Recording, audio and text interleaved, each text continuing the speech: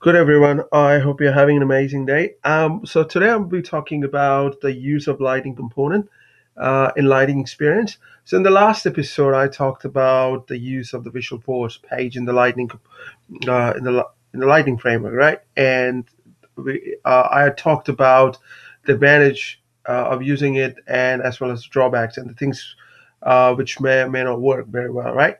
Okay, now today's episode is all about the lighting aspect, right? Um, so as you can see that this the page what I have right now, I'm in the lighting experience, right? This is uh, not a classic experience because if you remember in uh, in the beginning when I started this course, I mentioned clearly that if you're dealing with uh, a Salesforce Classic, uh, it's a page centric uh, architecture, right? And if you're dealing with the lighting, it's it's an app centric, right? So uh, so when you're talking about the page centric, right, every time you press a button, right, uh, say for instance in Salesforce Classic, it has to hit the server and gets the response back, right? So it's a kind of an overhead. It's not really a great uh, way uh, to do things in today's time because it's not very responsive. Um, that's uh, kind of my topic will be uh, today because uh, the reason why you should use lighting component, right? Say for instance right if you're if you're after a mobile experience right?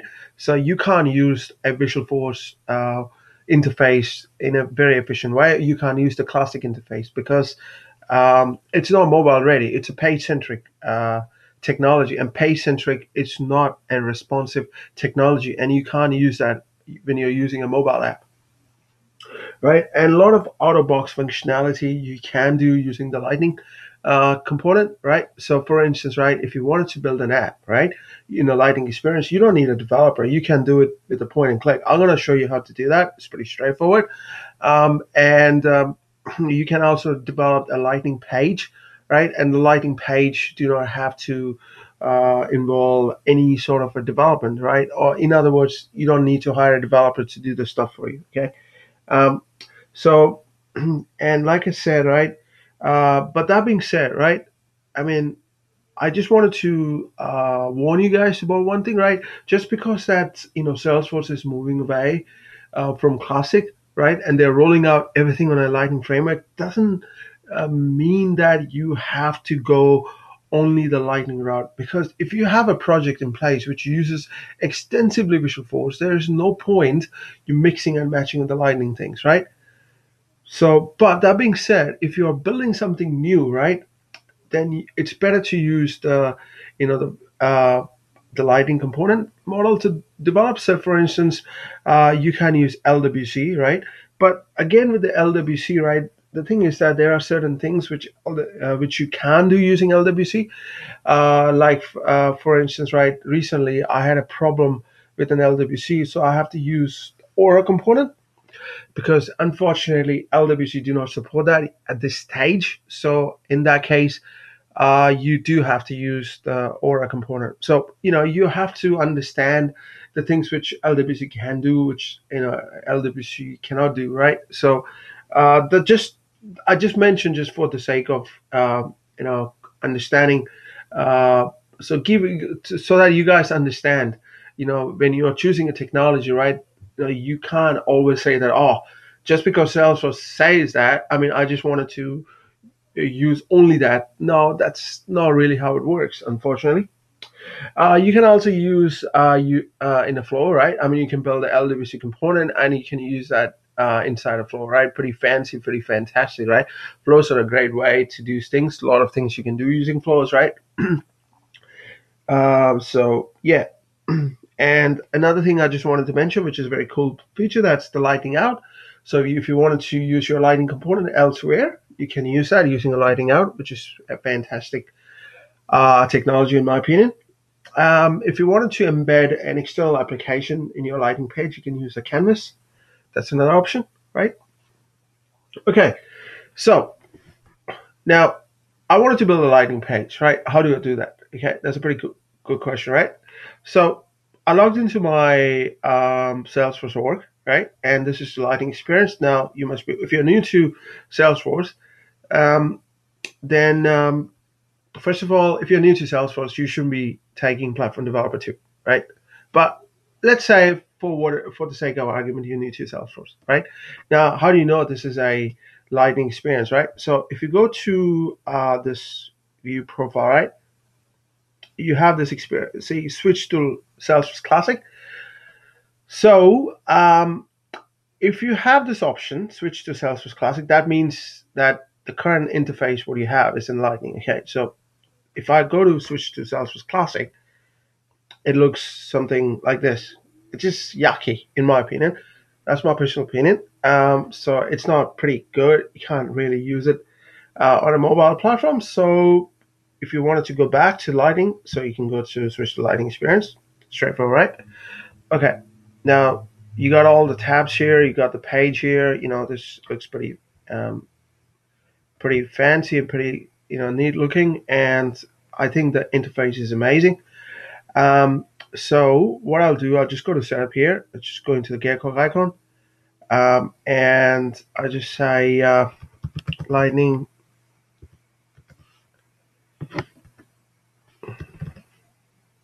uh, app builder. So you go there and you can create a page. Okay, so let, let's create a page, right? So we go to new, right? And uh, what I'll do, I will do say, I will just create an app page, right? You can do the app page, you can do home page, you can do record page, right? You can even do embedded service page. So there are different options you can do. So just for this, keep it simple. Uh, I'm just going to use the app page. So go to next and just say, um, say dashboard page. Uh, just say dashboard page. Um, it's going to take some time. You know, internet sometimes acts funny.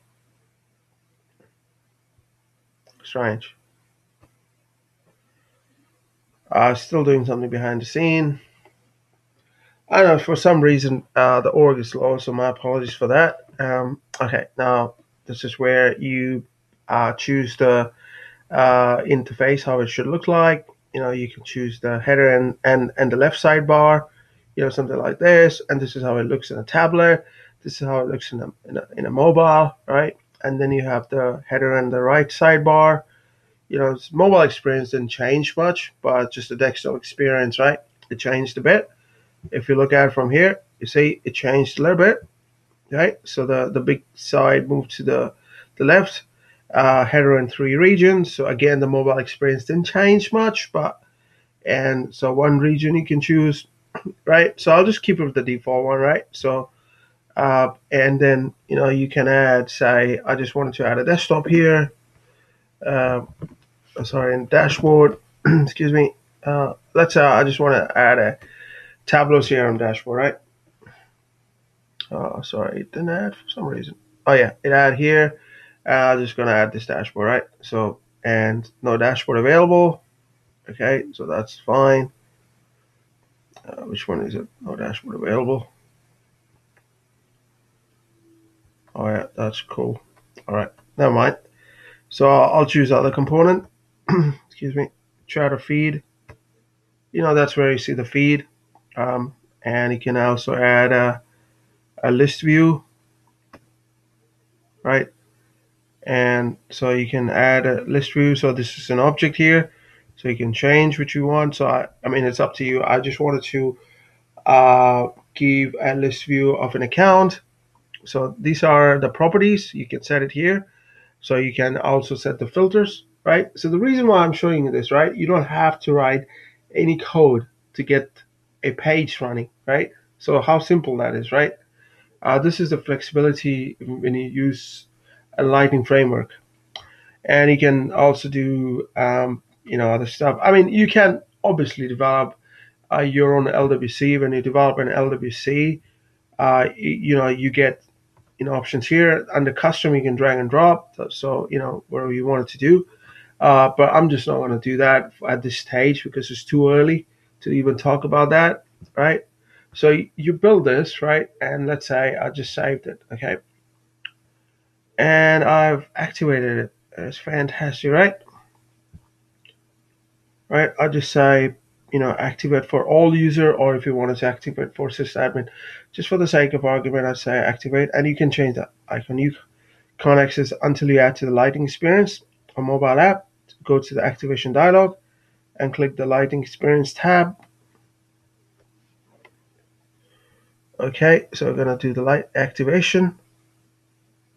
So you're gonna go to the lighting experience. So, you know, and now what I'm gonna do, I will add to the cells, add app page to the app, right? And so, so I've added this to the sales app. So this is a you know app, or if you build your own app, you can do that. So for now, I did that.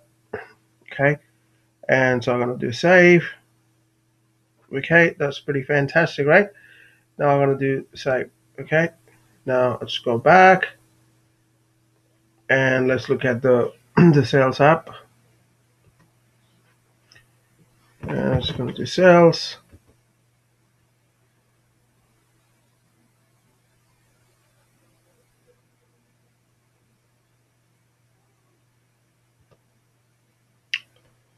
Um, so this is the dashboard page, what I've added.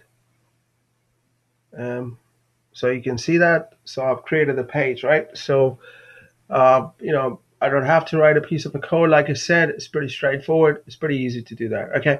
Now this is great. Now you must be wondering, okay, now I've clicked on the sales, right? And I have service, I have marketing. What is this, right? These are Lightning app. Okay. So this is something which you can create an app. So app it's like you know think about like your mobile app right? Just for where you have different options.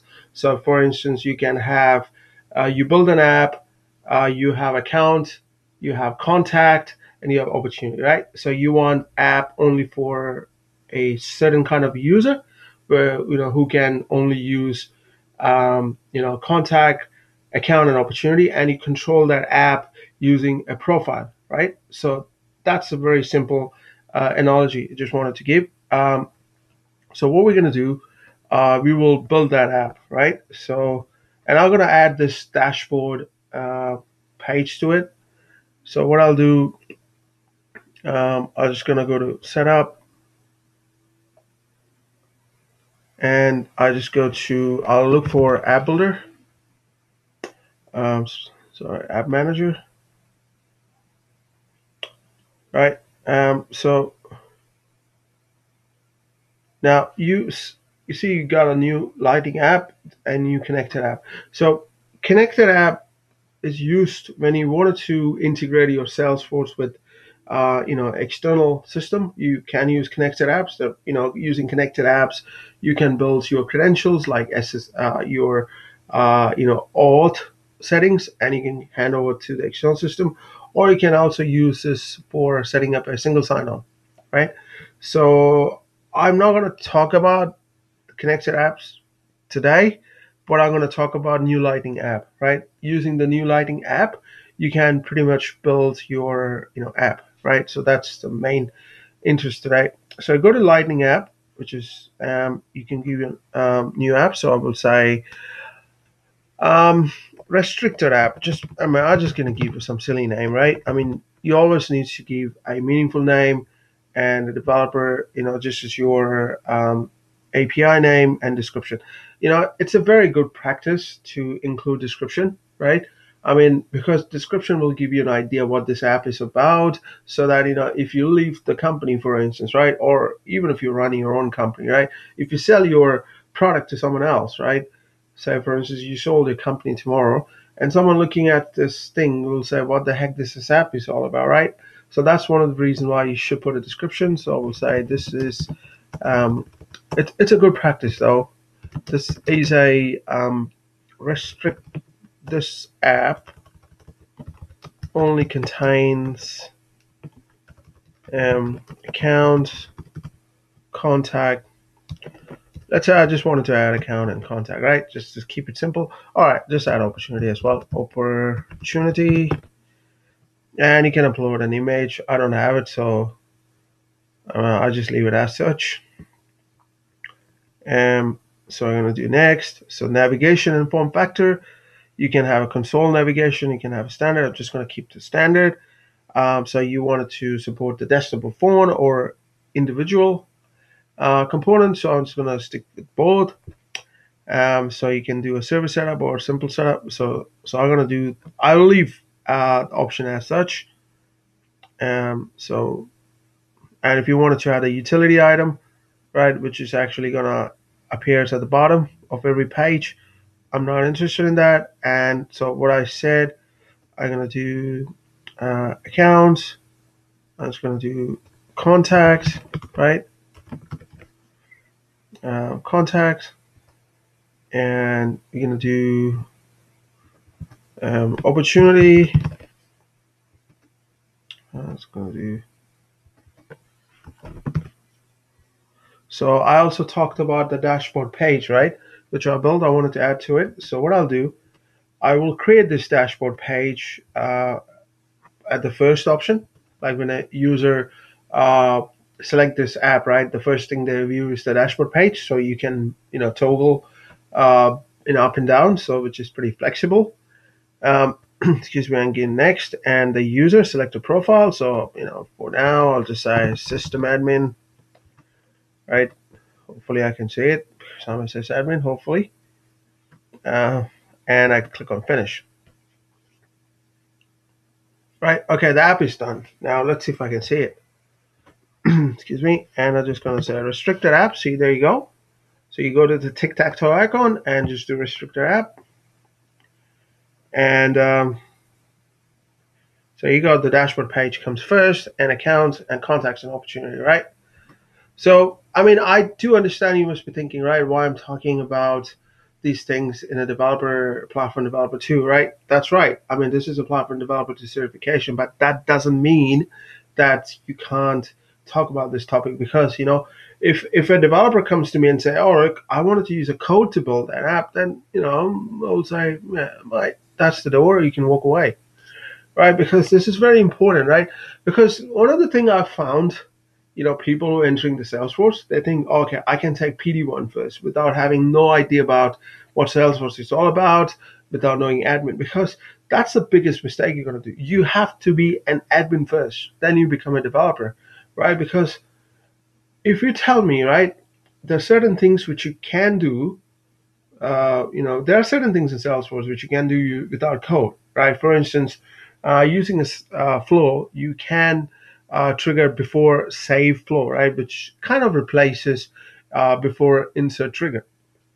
So if you have no idea about that concept, then you probably go gonna end up writing the code, right? And there is something called uh, external services, right? Using which you don't have to write a code, you can consume an external API, and using a flow, you can do the stuff, right? Now, if you are not aware of any of this stuff, right, you will say, all right, let's write a point-to-point integration, right? Uh, so yeah, that's gonna get messy, right? Because you have to understand the platform. So that's why I'm showing you this, right? Okay, sorry for ranting, but I just thought I just wanted to put it across. Anyways, okay, so this is uh, the Lightning experience, right? It's pretty nice, right? Interface looks pretty prettier. Uh, you don't have to write a code, right? I mean, I haven't written any code, right? You don't, you know, so, but if you wanted to do a Visualforce, it's a pain, right? I mean, I didn't like Visualforce, to be honest. I mean, I rather prefer to work with LWC. It's much neater. It uses extensive JavaScript. I mean, I love JavaScript. It's a beautiful language. Um, so you can do that, right? So yeah. So in the next episode, we're going to talk about, you know, uh, you know, AppExchange, you know, packaging, you know, how it looks like in AppExchange when, um, when things supports only Lightning or when there's no Lightning support, right? So this is kind of important, uh, just to, for the sake of completeness, uh, because I just wanted to make sure that I cover everything. Uh, because if I if I tend to miss, then you're gonna guys say, "Oh, this guy didn't cover that. This guy didn't cover this." Right? I just wanted to make sure I cover every damn thing. So next uh, episode will be you know partners, packaging, and AppExchange. Right? So that being said, I hope you guys enjoyed today's episode. You guys have an amazing evening. Take care. Adios.